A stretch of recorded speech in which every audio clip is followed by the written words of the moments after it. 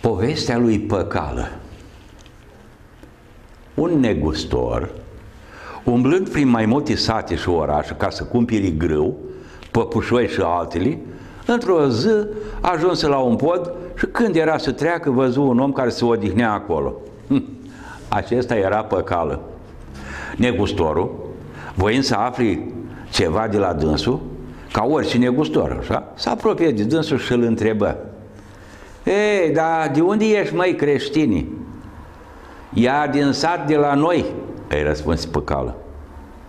Din care sat de la voi? Ia de acolo, tocmai de sub la mal, arătând negustorului cu mâna spre un deal. Bine, bine, dar și satul e așa la, că eu nu îl prea știu. Ei, cum să nu-l știi? E satul nostru, că și eu tot de acolo vin. Dar nu așa, măi, prostule, măi, eu te întreb, acel sat pe a cui moșii este și cum îi botezat? Doamne, dar nu știi că moșeile sunt boierești și asta e a cuconului nostru, care șede la București. Ea, satul botează popa într-o căldărușă cu apă, cum îi scrie lui în cărți. Negustorul, privindu-l lung, zis în sine, bă, aici să știi că e chiar pe cală. Dar cum te cheamă pe tine? Ei, Iaca.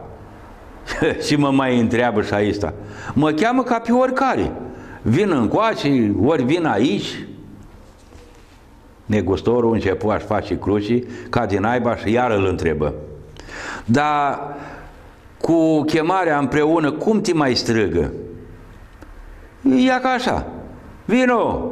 U, bă! Răspuns pe cală. Negustorul începu atunci a râde și zise, măi, ce e prost, apoi nu mai întrebă încă. Dar ce bucate se fac acolo la voi în sat? E, mai mult cir de mămăligă mâncăm, zis păcală. Dar înțelegi-mă, măi, prostule, nu te întreb de bucate fierte. Dar păi de care bucate mă întreb, bre? Te întreb dacă s-au făcut la voi grâu, orz, ori altele. Dar s-au făcut până la brâu, răspuns pe cală. Dar nu te întreb din înălțimii brei,